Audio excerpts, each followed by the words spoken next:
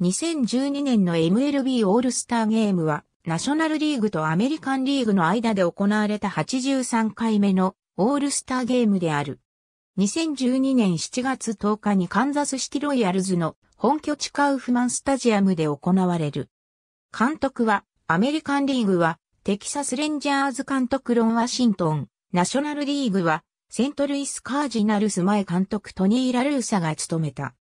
勝ち、マット・ケイン敗、ジャスティン・バーランダー S、観客動員数、一試合時間、地元カンザスシテロイヤルズからは、監督推薦によって、ビリー・バトラーが選ばれた。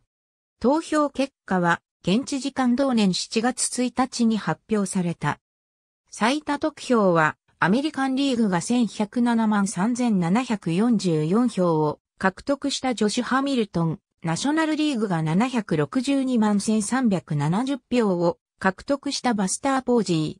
ハミルトンの得票数は前年にホセ・バティスタが記録した745万4753票を大きく上回る史上最多得票となった。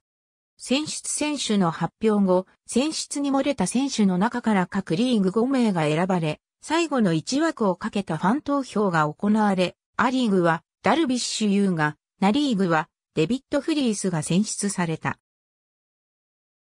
チッパー・ジョーンズはな、リーグの5名の1人に選ばれていたが、ファン投票で選出されたマット・ケンプが故障で、出場辞退したため、代替選手として出場が決まった。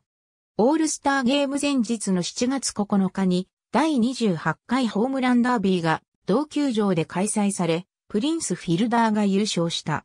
試合が行われる2日前の7月8日には、同球場でマイナーリーグのオールスターゲーム、フューチャーズゲームが開催された。